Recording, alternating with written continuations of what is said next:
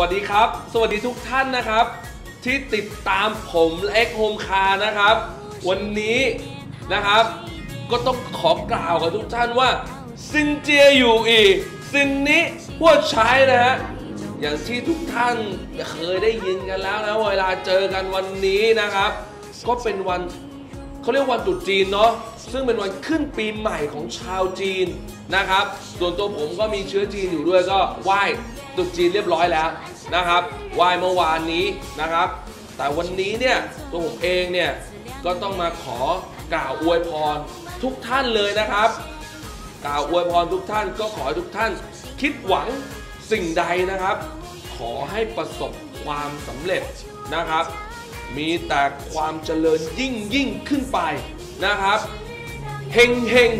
รวยรวยนะครับ คิดอะไรไม่ออกนะครับ ขอให้ทุกท่านคิดอย่างเดียวเฮงเฮงรวยรวยนะครับ แล้วเหนืออื่นใดนะครับ สิ่งสำคัญเลยนะครับ ขอให้ทุกท่านนะครับ สุขภาพแข็งแรงสมบูรณ์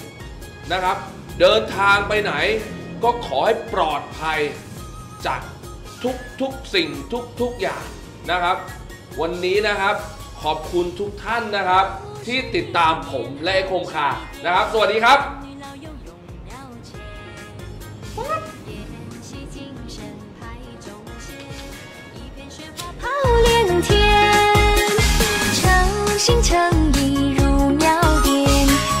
水果白。